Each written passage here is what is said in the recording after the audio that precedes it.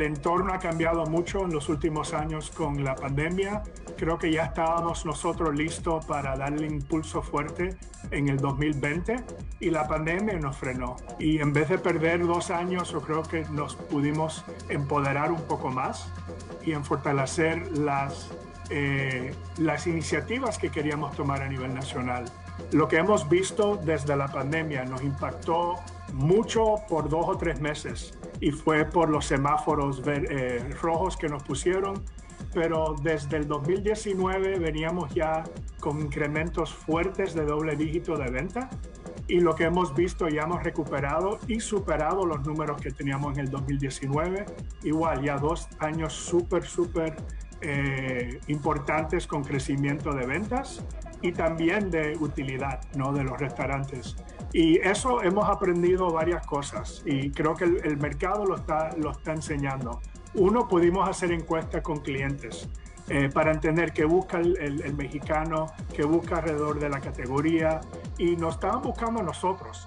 Lo interesante es que la categoría es, es eh, lo importante es conveniencia, calidad de producto y eh, eh, asequibilidad de, de, precio y también de locales. Y nosotros llevamos dos eh, de esos muy fuertes y lo que nos falta ahora es la accesibilidad de tener locales a los clientes. ¿no?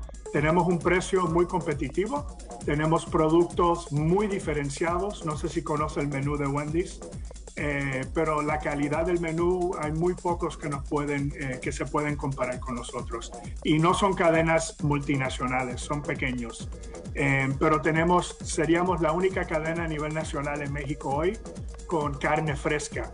Y carne fresca de Chihuahua así que carne local esa carne nos da el beneficio de entregarle al producto al cliente caliente y jugosa y no necesitamos eh, bañarlos en aderezo como hacen otras cadenas para que no, no pruebe uno la carne seca que tengan, ¿verdad? Así que eso es algo para nosotros que nos diferencia y un punto muy importante.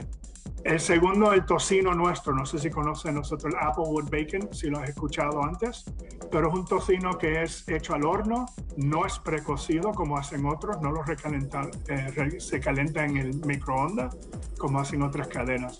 Así que para darte una idea del producto diferenciado nuestro, ¿no?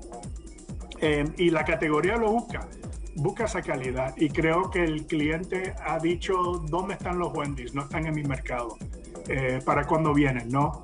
Lo importante es que ya estamos eh, a paso con eso y creo que la flexibilidad ahora de los activos que te comenté nos da la oportunidad de poder eh, llegar a donde quiera, ¿verdad? Podemos llegar a las plazas con cualquier tipo de activo y no todo tiene que ser un edificio de dos o tres pisos, con playground, con comedores donde tal vez el alquiler sea muy caro, así que podemos flexibilizarnos nosotros a donde está el cliente con el tipo de activo eh, necesario.